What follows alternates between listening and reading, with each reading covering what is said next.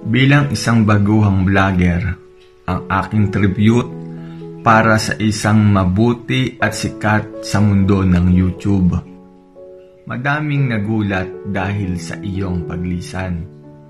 Sa napakabata mong edad, bigla ka na lang na maalam.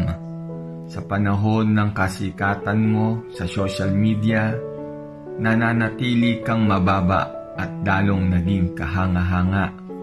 Kaya ang iyong mga taga-subaybay ngayon ay nalulumbay. Sa mga video mong ina-upload, inaabangan nila ito dahil sa kasabikan na ito ay kanilang mapanood.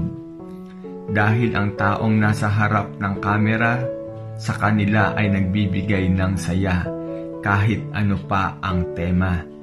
At sa iyong mga kinita, ibinabahagi mo ito sa iba sa pamamagitan ng pagbibigay mo ng ayuda sa kasagsagan ng pandemya. Kaya sa takbo ng iyong karir, lalong dumami ang iyong mga subscriber. Ang mabuting vlogger ngayon ay hindi na masisilayan ng kanyang mga viewers. Ang mga video na nagbigay saya dahil sa galing sa pagpapatawa. Minarkahan mo ang social media, lalo na nung naipagawa mo ng sariling bahay ang iyong mahal na ina sa pamamagitan ng iyong kinikita. Kaya like na like ka ng ibang artista, kahit na mapakontrabida, bida o komedyan, basta kapag ikaw ang nag-vlog, ito ay kumikita.